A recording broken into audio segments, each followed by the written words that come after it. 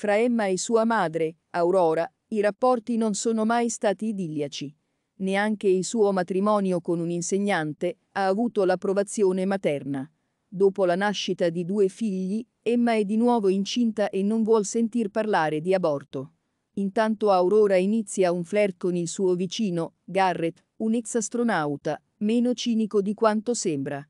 E quando Emma scopre di avere un cancro affiderà i figli alla madre, il cui legame con Garrett sembra dare garanzie di solidità.